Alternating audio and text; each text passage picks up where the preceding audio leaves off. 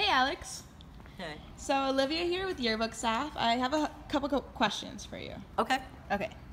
So, how was your summer? Did your art show go well? Yeah. Oh, thanks for asking. Um, yeah, it went great. Um, had an art show. A lot of people showed up and supported, so it was really cool.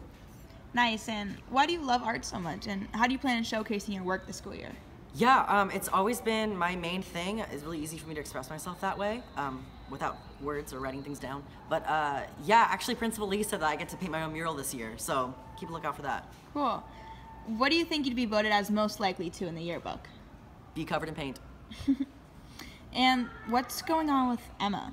Any clue? Uh, no. Um, we haven't talked since last year, but I mean, like, I hope she's good. Cool. And what's on your bucket list for the school year? Um, number one, first order business, make a mural. Second order business, hopefully make more murals if they let me back to do that.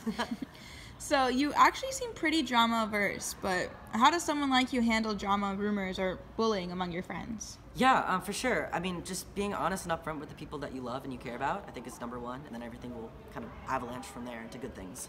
Awesome. Thanks, Alex. Yeah, thanks so much. Have a good year. yeah, you too.